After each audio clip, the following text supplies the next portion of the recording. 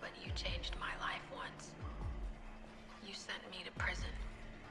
I was guilty of a lot of things, but not the drug charge you framed me for.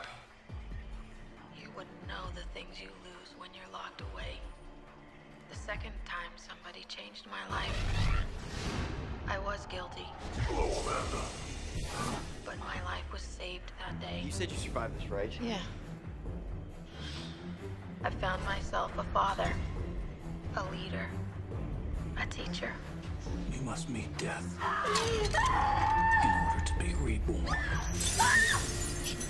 Help me. What is the cure for cancer, Eric? Those who don't appreciate life do not deserve life. The cure for death itself. The answer is immortality. Daniel! Creating a legacy, by living a life worth remembering, you become immortal. So now we find the tables are turned. We asked for you. What do you want? I told you. He wants us to survive this. I want to play a game.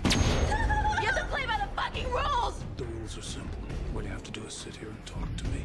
What? If you can do that long enough, you will find your son in a safe and secure state. What the fuck is that? It's your son, Daniel. You remember him, don't you? My dad's the.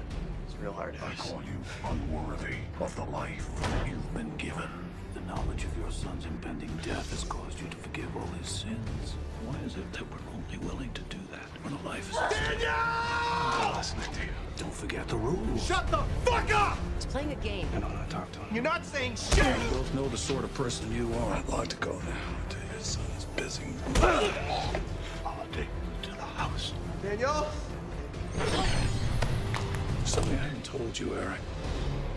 It is I who will carry on John's work after he dies. Daniel! So go ahead.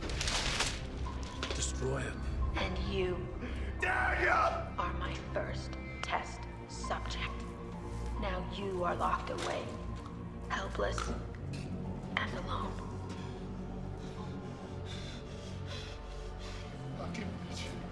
Game over. I'll fucking kill you! You fucking bitch! You fucking bitch!